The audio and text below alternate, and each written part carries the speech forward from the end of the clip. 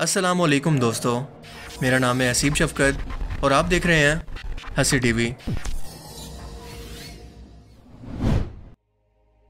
क्या राम, कृष्ण या गौतम बुद्ध, जिनके मानने वालों की करोड़ों की तादाद दुनिया भर के अंदर मौजूद है और इन्हीं हस्तियों पर एक मुकम्मल मज़हब की बुनियाद भी खड़ी है, इनकी अपनी खुद की हौली किताब भी मौजूद है, जिसमें इनकी सब तालीमात भी मौजूद हैं, जैसा कि अम्बिया कराम पर अल्लाह ताला ने नाजिल की।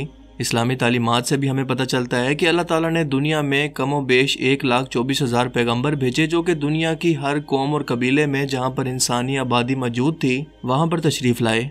तो क्या हम ये कह सकते हैं कि हिंदुस्तान की सरजमीन पर भी राम, कृष्ण या गौतम बुद्ध को नबी बनाकर भेजा गया? इन्हें वैसी ही तालीमत दी गई, जो कि हर एक नबी को दी गई, मगर वक्त गुजरने के साथ साथ इनके फॉलोअर्स ने इसे बदल कर शिर के अंदर बदल दिया। सुनने में ये बात तो काफ़ी लॉजिकल लगती है और यही वजह है कि आज कई मुसलमान आलिम दीन अपने अंदाज़ों की बुनियाद पर किताबों में ये लिख चुके हैं कि मुमकिन है कि ये अल्लाह के नबी ही थे। मगर कॉमन सेंस ये कहती है कि पहले ज़माने के अंदर जब ना तो कोई कम्युनिकेशन के ज़राए मौजूद थे और ना ही रिसर्च के कोई ज़रिए मौजूद थे। मुमकिन है लोग ऐसी बातों को सुनकर यकीन कर लेते हों, मगर आज के तरक्की याफ्ता दौर में ऐसा बिल्कुल मुमकिन नहीं, क्योंकि जो सच्चा है वो मैदान में आए। अपनी बात को तजर्बात के साथ और सबूत के साथ साबित करे, तभी लोग इस चीज़ को या इस दावे को मानने के लिए तैयार होंगे। मगर इस केस में ऐसा बिल्कुल भी नहीं है, बल्कि ऐसा सोचना भी सब महज दीन से दूरी और गुमराही का नतीजा है, जिसकी वजह बने हैं कई ऐसे आलम दीन, जिन्होंने खुद हिंदुस्तान की सरजमीन पर रहते हुए अपने हम वतनों को खुश करने के लिए कई ऐसी कहानियाँ मफरूज़ों की बुनियाद पर गढ़ी हैं, जिनका ना कोई तारीखी हवाला मौजूद है। ना ही हालात व वाक़ात एक दूसरे से मिलते हैं और ना ही इन लोगों के किरदार जो कि बयान किए जाते हैं, वो अम्बिया कराम की तरह पाक हैं। हिंदुज़म के अंदर तीन मिलियन से भी ज़्यादा खुदा मौजूद हैं, जिनकी वो परस्तिश करते हैं, मगर ये सब के सब तीन सुप्रीम खुदा, ब्रह्मन, शिवा और विष्णु की इबारत करते हैं। इन सब खुदाओं की खसूसियात इस्लामी तालीमत में बयान करदा फरिश्तों की सी हैं, जो कि किसी सुपर हीरो की तरह अवतार लेकर ज़मीन पर आकर इंसानों की मदद करते हैं, इनसे मिलते हैं और इन्हीं के दरमियान रहते भी हैं। कुरान करीम में यह वाज तौर पर मौजूद है कि हमने हर कौम की तरफ़ डराने वाला भेजा। यानी ऐसा पैगंबर जो कि हर कौम को अल्लाह ताला की हिदायत का रास्ता दिखाकर जहन्नुम और गुमराही के अजाब से इन्हें बचाए, मगर नाम के साथ सिर्फ़ 25 पैगंबरों का ज़िक्र है और इनमें से भी किसी की डिटेल्स मौजूद नहीं है, और किसी की इतनी ज़्यादा मौजूद है कि इनकी मुल्क, कौम और ज़िंदगी के अहम तरीन वाक़ात भी मौजूद हैं और कुछ के सिर्फ़ नाम की हद तक कुछ का ज़िक्र अहले किताब मसलन तुरात और अंजील के अंदर मौजूद है, मगर कुरान करीम में नहीं, या कुरान करीम में मौजूद पैगम्बरों की ज़िंदगी के हालात की डिटेल्स हमें मिलती है अहले किताब की किताबों में। इन सबको मिलाकर हम तकरीबन सौ पैगम्बरों को भी जमा नहीं कर सकते, मगर यहाँ पर हम तकरीबन एक लाख चौबीस हज़ार का ज़िक्र कर रहे हैं, जो कि बहुत बड़ा नंबर है। नबी करीम सल्लल्लाहु अलैहि वसल्लम की एक हदीस मुबारक है कि क़्यामत के रोज़ कुछ ऐसे नबी भी होंगे जिनके साथ इनकी कौम का कोई एक भी शख्स नहीं होगा, क्योंकि इन पैगम्बरों के डर सुनाने के बावजूद भी कोई एक भी शख्स इन पर ईमान नहीं लाया होगा और अगर कोई ईमान लाया भी होगा तो वक्त के साथ इसने फिर से शिरक और कुफ्र करना शुरू कर दिया होगा। इसीलिए ये पैगंबर अकेले जन्नत की तरफ़ जा रहे होंगे। मशहूर इस्लामी रिसर्चर, हिस्टोरियन और मशहूर इस्लामिक स्कॉलर सैयद सलमान नदवी ने अपनी एक किताब के अंदर ये लिखा है कि श्री रामचंद्र हिंदुस्तान की सरजमीन पर भेजे गए एक पैगंबर थे, जिसके बाद एक इस्लामी स्कॉलर की किताब खुद एक रेफरेंस बन गई गैर मुसलमानों के लिए कि वाकई ये अल्लाह के पैगंबर थे जिन्हें मुसलमानों को भी मानना चाहिए। मगर तारीखी तौर पर इस किताब के अंदर कोई हवाला या सबूत या कोई ऐसी वजाहत मौजूद नहीं है जो कि इस दावे को साबित कर सके।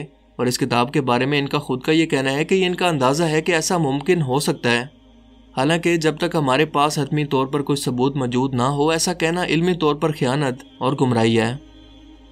एक और मशहूर इस्लामिक स्कॉलर मुफ्ती कफ़ायतुल्ला अपनी एक किताब किफ़ायतुल मुफ्ती की जिल्द नंबर एक, सफ़ा अठावन पर यह लिखते हैं कि तमाम अकाबरीन उलमा ने श्री कृष्ण, श्री राम और दूसरे मजहबी पेशवा से मुतलिक ये लिखा है कि मुमकिन है कि ये अल्लाह के नबी हों, जिनका ज़िक्र कुरान में नहीं है। मगर बाद में इनके खुद के ही फ़िरका के लोगों ने इसके मुतालिक किताबें लिखकर इन्हें गलत साबित किया कि ये इनके महज अंदाजे या उनकी अपनी सोच है जिसका हकीकत से कोई ताल्लुक नहीं। ख्वाजा गुलाम फरीद ने भी अपनी किताब मकासिबुल मजालिस के अंदर ये यकीन से लिखा कि श्री राम और श्री कृष्ण दरअसल नबी थे, मगर बाद में पता चला कि एक झूठी किताब है जिसे खुद से कादियानियों ने लिख कर ख्वाजा गुलाम फरीद से मंसूब कर दिया जिसमें कोई हकीकत नहीं। इसके अलावा कई तारीख दानों ने कई जगह पर इस तरह के हवाले पढ़कर अपनी किताबों के अंदर बिल्कुल वैसा ही लिख दिया जिसके अंदर कोई हकीकत नहीं है। किसी शख्स को नेक और वलीउल्लाह मानने के अंदर हमें कोई अर्ज़ नहीं, लेकिन एक नेक इंसान और एक पैगंबर के रुतबे के अंदर बहुत ज़्यादा फ़र्क होता है और वह एक कौम की ज़िम्मेदारी और अल्लाह का हुक्म लेकर ज़मीन पर आते हैं। इनके किरदार और सीरत बाकी कौम के लिए बिल्कुल मिसाल होती हैं, वो कभी शिरक नहीं कर सकते। वो हमेशा एक खुदा की दावत देते हैं। कृष्ण एक नबी था जिसका रंग काला था और इसे हिंदुस्तान की सरजमीन पर इंसानों की हिदायत के लिए भेजा गया। ये एक हदीस के अंदर मौजूद है। जी हाँ आपने सही सुना।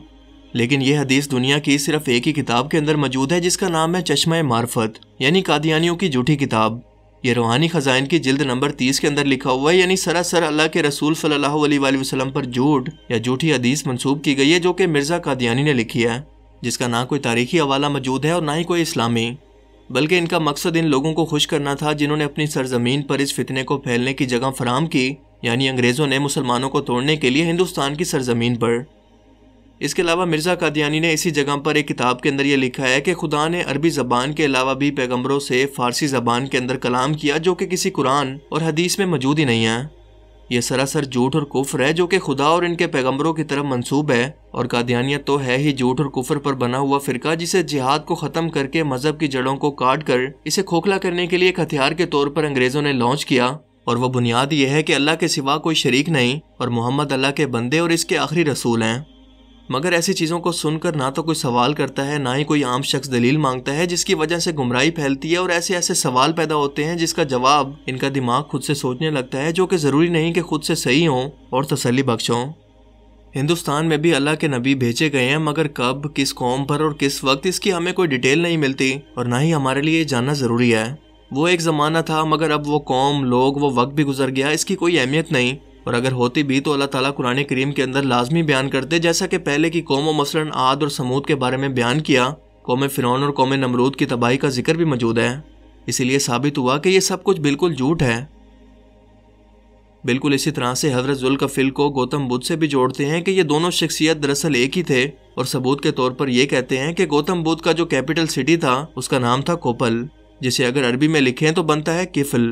ये भी अल्लाह के नबी थे, खुदा को मानते थे, लेकिन वक्त गुजरने के साथ साथ लोगों ने इनकी तालीमत को बदल कर खुद से नया मज़हब बना लिया। जैसा कि ईसा सलाम के साथ इनके हवारीयों ने किया और इन्हें अल्लाह का बेटा बना दिया।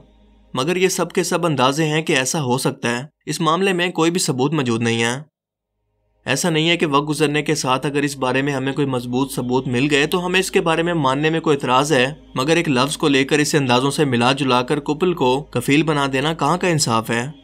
और अगर ऐसा किया तो आज बैठे बैठे तारीख की कई हस्तियों को नबी बनाया जा सकता है, क्योंकि इनकी कोई एक चीज़, मसलन रंग, नस्ल या इलाके वगैरह का नाम तो आपस के अंदर कहीं ना कहीं पर आखिर तो एक दूसरे से मिलता ही होगा। इसीलिए ऐसी चीज़ों पर यकीन करना और अपने पास के लोगों को खुश करने के लिए ऐसी मन चीज़ों को खुद से बना लेना बहुत बड़ी नाइंसाफ़ी है, जिसका आपको रोज़े क्यामत हिसाब देना पड़ेगा।